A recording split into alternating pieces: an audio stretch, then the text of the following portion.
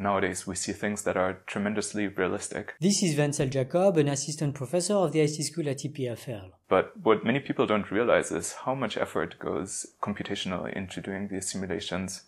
Um, so, for instance, um, you may know the, the movie Gravity. I'm particularly fond of that one because uh, one of the visual effects supervisor kind of was a bit more specific about how long this simulation took. And specifically what he said is that uh, if they had just had a single machine, they would have needed to start rendering uh, before the dawn of the Egyptian civilization to finish in time for the release of the movie. Every image of a blockbuster movie now requires a huge amount of computation power.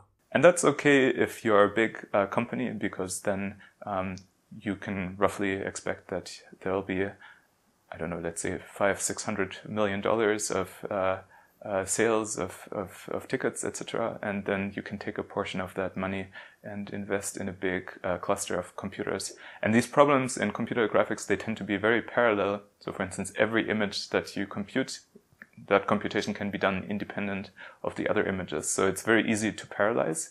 Um, but on the other hand, it also means that, let's say, uh, a normal uh, person who maybe knows how to use the tools but doesn't have that kind of computational power available is not going to be able to recreate um, th- those kinds of realistic results. So I think that's very unfortunate, and um, a lot of the uh, research is about making more efficient algorithms that uh, close the gap here, in a sense. Still, simulating how light moves and interacts with different materials does not seem that complicated. Why would computing light transport be so computationally demanding?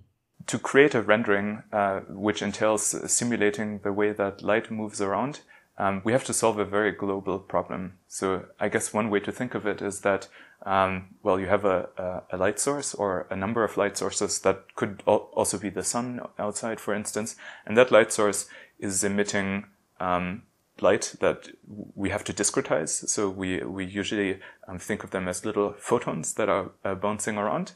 And so um, these light particles will uh, travel into a certain direction until they um, encounter an object, um, and then an interaction happens. So that at that point, light uh, changes its direction, and um, how exactly that happens depends on um, what kind of a material it is we're talking about. If it's a metal surface, then uh, it's quite easy. Uh, there, there's a, a, so-called specular reflection. If it's a more elaborate kind of material, then all sorts of things can happen. One of the reasons why light transport simulations are currently quite slow is because the algorithms that actually do these simulations run them in a sort of a brute force way. They execute the physical laws, um, and this is uh, not a fight that you can win. So what I mean by that is when you go outside on a sunny day and uh, you just look at a square meter of the earth outside, about 10 to the power of 22 uh, photons hit that uh, square meter of earth just from the sun and they bounce around happily and they solve the light transport equation indirectly in doing so. And 10 to the 22 is actually a huge, huge, huge number. If you wanted to describe each of the 10 to the 22 photons, then you'd need at least 10 to the 22 bits of data. This corresponds to billions of terabytes of data, also known as, wait for it, zettabytes of data. That's roughly the total amount of data throughout the internet. But on a computer, we, we cannot deal with these kind of numbers. Maybe we can simulate um, 10 to the power of 6, 10 to the power of 7 of, the, of these uh, per second. So that's not going to, going to work. So we need to build algorithms that are more efficient and that instead of just doing a brute force simulation, maybe understand how different parts of the problem are connected up to each other so that you can do it in a fraction of the time. And part of the difficulty of sampling 10 to the 7 out of the 10 to the 22 photons is that the 10 to the 22 photons have very diverse kinds of trajectories. What's really interesting about light transport, especially when you want to simulate it realistically, is that in a sense, many materials are talking to each other. And so what that means, for instance, is, you know, if you imagine uh, taking a, a wall and, um, and that, that wall is white, it's being illuminated by a white light source, but now you take an object that's, for instance, very red and you place it close to the wall, then actually that wall will also start to look red because some of the light hits this red object first before it continues onto the wall. And so there's this constant exchange of energy and light being interreflected, and that needs to be accounted for in a simulation. Let's give an example. So in this room, well, there are well, first uh, light has to arrive from the sun. All the all the light that we're seeing here is, is coming from there. Then it has to refract twice to get through this glass window. Actually, it's more it's it's four times. It has to refract four times because it's a double-sided window. Each each window pane has uh, two refractive index changes, and then I guess most of the light in here has bounced around once or twice and and interacted with the walls. So the white wall um, absorbs a certain amount of the energy, of course, when light reflects with it. Uh, uh, but um, so that if, that means that this number of bounces is not infinite, infinite and eventually it kind of um, the amount of energy that's left, let's say after n bounces, decreases uh, rapidly with increasing n. Now, to know how an eye or camera will be seeing objects around it, most of the photons are actually completely irrelevant. That's because most of them do not end up being captured by our eye or camera. That's why. The goal is to find a path from the light source to the camera. And that's very su- surprisingly difficult in certain cases. It depends on both the illumination and um, the material that things are made of, and the geometry as well. Let's say you have a metal surface, so and that's perfectly polished, just a mirror.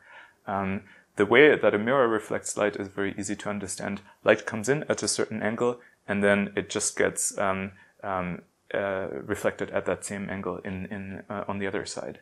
Um, so that's fairly simple. But now imagine that your mirror is not perfectly flat, but it's actually on some more intricate object that has a, a, surface that has undulations or is maybe even a little bit wrinkled or something like that.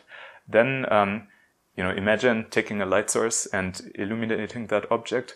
It will um, create these interesting patterns because light will um, be reflected by, by this object, but it's going to be it's going to be reflecting more light into certain directions than in others, and that depends precisely on uh, how what the surface of this object looks like. It's it's easy to say, oh, let's find all the uh, all the trajectories uh, that um, light will take from the camera to the light source, but there's actually a really challenging uh, search problem. So, how does computer graphics researchers compute light paths? One of the algorithms that's uh, frequently used in the in the movie industry and in all kinds of other applications as well. The way that it works is it generates a light path so that's uh, basically the trajectory that light has taken from the camera to the light source. And then it forgets it and it generates another one. And it does that over and over again. And that's part of the reason why it's so slow because it doesn't have any kind of memory.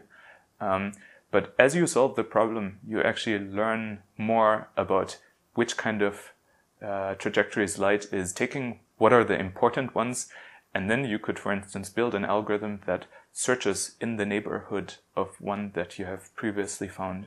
So, in a sense, the trick here is to learn about the structures of light paths to improve our search for the main light paths from the sources to the camera. So it has a notion of how how important um, a light transport path is, um, and that's actually uh, roughly um, speaking, how much energy it carries from the light source to um, to the camera. So the more more energy that is transported, the more important it is. So when it finds an important one eventually, then it it uh, tries to uh, explore the neighborhood of that. It doesn't want to move away from that easily. So that simple change makes a huge difference in terms of efficiency. So to sum up, if you find one of these light paths, so the trajectory from light um, to the camera, then um, there are interesting ways that you can, for instance, uh, explore uh, the neighborhood of this light path to make a rendering uh, more efficiently. However, you still have to find um, an interesting path to explore its neighborhood. And that's a little bit like finding a needle in a haystack. If you think of the all of the trajectories that light can take, that's a very high dimensional space. It could be 10 dimensional, 20 dimensional, 30 dimensional. Basically, it depends on how much light bounces around before it makes it to the camera that governs the dimension of this space. And now try about, you know, think about uh, finding an interesting point in, say, a 30 dimensional space. That's really hard.